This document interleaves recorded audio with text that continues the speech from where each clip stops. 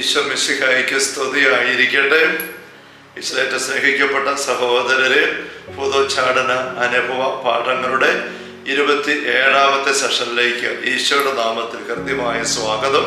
Hallelujah hallelujah പലപ്പോഴും ആളുകൾ ഫോണിൽ വിളിച്ചും അല്ലെങ്കിൽ എങ്ങനെ കാണാൻ ആഗ്രഹിച്ചുകൊണ്ട് വാഗമണ്ണിൽ വന്നും ഒക്കെ നിരന്തരം ഉന്നയിക്കുന്ന ഒരു ആഗ്രഹമാണ്.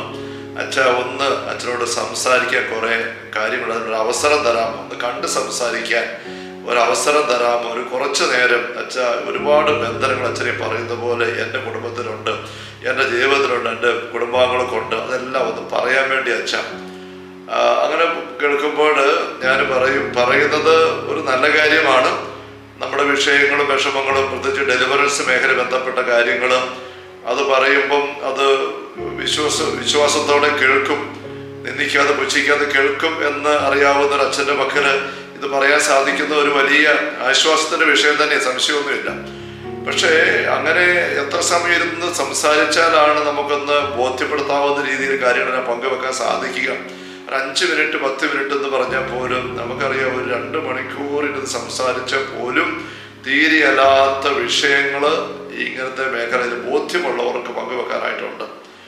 അങ്ങനെ സമയം ഒന്ന് ഉണ്ടാക്കുക എന്ന് പറയുന്നത് സാധ്യമല്ലാത്ത രീതിയിൽ ബുദ്ധിമുട്ടാണ്. സമയം കൊണ്ട് ഒരാൾക്ക് വേണ്ടി ആ സമയം ഇരിക്കുക. ഇനി എങ്ങനെയെങ്കിലും അതുപോലത്തെ കുഴഞ്ഞ കേസും അത്യാവശ്യ സിറ്റുവേഷനുമാണ് അവിടെ സമയം കൊടുത്തേക്കാമെന്ന് വെച്ചാൽ പോലും ഒരു മണിക്കൂർ രണ്ട് മണിക്കൂർ മൂന്ന് മണിക്കൂർ സംസാരിച്ചാലും ആ വരുന്ന വ്യക്തിയുടെ വിഷയങ്ങളെല്ലാം എനിക്ക് മുഴുവനും അവർക്ക് പറഞ്ഞ് തന്നെ ബോധ്യപ്പെടുത്ത സമയം കൊണ്ട് തികയല്ല. ഇത് പറയാൻ പറ്റിയാൽ പോലും ഇനി എനിക്കത് മുഴുവൻ തിരിഞ്ഞാൽ പോലും ഒരു ഗൗരവമുള്ള വിഷയം എന്താണെന്ന് വെച്ചാൽ മണിക്കൂറുകൾ അവർ സംസാരിച്ച് അവരുടെ വിഷയം മുഴുവൻ നന്നായിട്ട് മനസ്സിലായാലും അവരുടെ ജീവിതത്തിലെ കുടുംബത്തിലെ ബന്ധനങ്ങളുടെ അവസ്ഥയ്ക്ക് ഒരു മാറ്റവും വരികയല്ല. ഒരു മാറ്റവും വരികയല്ല. മണിക്കൂറുകളും തന്നെ ദിവസങ്ങളിരുന്ന് അവരുടെ വിഷയങ്ങളെല്ലാം ഞാൻ കേട്ട് കേട്ട് സംസാരിച്ച് കേട്ടിരുന്നാൽ പോലും ഒരു മാറ്റം വരികയല്ല. സംസാരിക്കാൻ ആരംഭിച്ചപ്പോൾ ഉള്ള അവസ്ഥ ബന്ധനങ്ങളുടെ ഇത് എന്താണ്? അതേപടി തുടരും. പറയുന്നതിന്റെ ആശ്വാസം കിട്ടുന്നു മാത്രം. അല്ലാതെ വേറെ ഒരു വൈകാരിക ആശ്വാസം. അത്രേ ഉള്ളൂ. വിടുതൽ കിട്ടണമെന്നുണ്ടെങ്കിൽ പ്രാർത്ഥിക്കണം. ഈശോ പറയുന്നില്ലേ മർക്കോസ് ഒൻപതിന്റെ ഇരുപത്തെട്ട് ഇരുപത്തി മൂന്ന് മുപ്പത് പ്രാർത്ഥന കൊണ്ടല്ലാതെ മറ്റൊന്നുകൊണ്ട് തിന്മയുടെ വർഗം പുറത്തു പോവുകയല്ല അത് ഉപവാസമുള്ള പ്രാർത്ഥന. അവരുടെ ഇങ്ങനെ ചോദിക്കുന്നതൊക്കെ ഞാൻ പറയുന്ന അവർക്ക് നിരാശ തോന്നും ചമക്കം തോന്നുമെങ്കിലും പ്രാർത്ഥിക്കാനായിട്ട് വാ. നമുക്ക് പിന്നെ സംസാരിക്കാം. ആദ്യം പ്രാർത്ഥിക്കാൻ വാ. ഒന്നുകിൽ ഏകദിന ധ്യാനം ഒരു ദിവസം അഞ്ചാറ് മണിക്കൂറുകൾ കിട്ടും. രണ്ടാം ശനിയാഴ്ചകൾ വാഗമണി വന്നേ. ഒരു അൻപത് മുതൽ ഒരു മൂന്ന് നാല് മണി വരെ നമുക്ക് ഒരുമിച്ച് പ്രാർത്ഥിക്കാം മണിക്കൂറുകൾ. അത് എന്റെ ഫലം ചെയ്യും. അല്ലെങ്കിൽ ഒരാഴ്ച താമസിച്ച ധ്യാനത്തിന് വന്ന് അഞ്ച് മുഴുവൻ ദിവസം കൊണ്ട് ഞായറാഴ്ച ശനിയാഴ്ച വരെ അങ്ങനെ വന്നേ അങ്ങനെ വന്ന് പ്രാർത്ഥനയിൽ ഇരുന്നേ അപ്പോൾ കുറെ ദൈവത്തിന്റെ അത് കാണാൻ പറ്റും. അത് കഴിഞ്ഞിട്ട് പിന്നെ സംസാരിക്കേണ്ട ആവശ്യം തോന്നുകയാണെങ്കിൽ അതിന് അവസരം തരാം. അത് ധ്യാനത്തിന് വരുമ്പോൾ തന്നെ ഞാൻ ഓരോരുത്തരെ വരുന്ന കുറിച്ച് മേടിക്കും. ഒന്ന് രണ്ട് പേജ് കുറിച്ച് തരാൻ പറയും. അത്യാവശ്യം വിഷയം പറയാനുള്ളത് പറയാൻ. അങ്ങനെ ചെയ്യും. അതല്ല സംസാരിക്കാനായിട്ട് സമയം ചെലവഴിക്കുന്നതുകൊണ്ട് സ്നേഹപ്പെട്ട സഹോദരൻ ഒരു ഉപകാരവും ഇല്ല. ബൈബിളിലേക്ക് നോക്കിക്കേ. യുദാസ് കറിയാത്തയുടെ അവസ്ഥ ഈശോ എന്തുമാത്രം നന്നായിട്ട് അറിഞ്ഞിരുന്നു.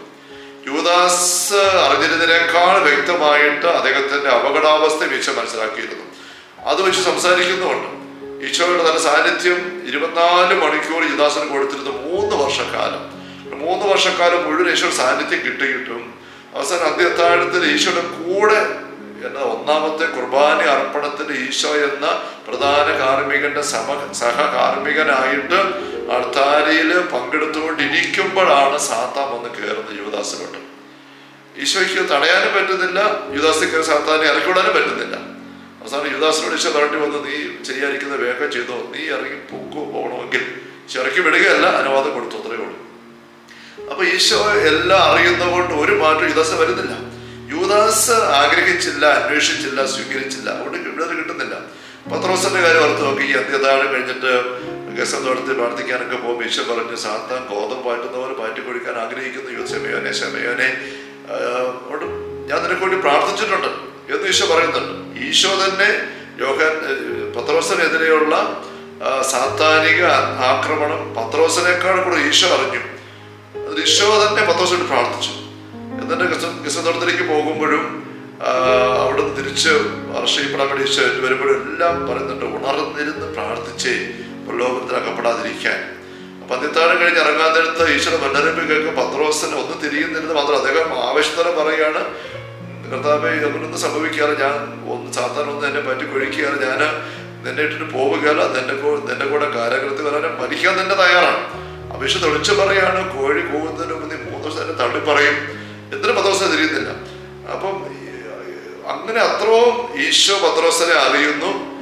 പത്രോസിന് വേണ്ടി ഈശോ തന്നെ പ്രാർത്ഥിക്കുന്നു. ഈശോ തന്നെ പ്രാർത്ഥിക്കുന്നു പത്രോസിന് വേണ്ടിയിട്ട്. പ്രാർത്ഥിക്കാൻ പത്രോസിനോട് ആവർത്തിച്ച് ആവശ്യപ്പെടുന്നു. ഇതെല്ലാം ആയിരുന്നിട്ട് പോലും ആ രാത്രിയിൽ പത്രോസ് വീണു. ഈശോയെ അറിയില്ല എന്ന് ആണയിട്ട് ശപഥം ചെയ്ത്.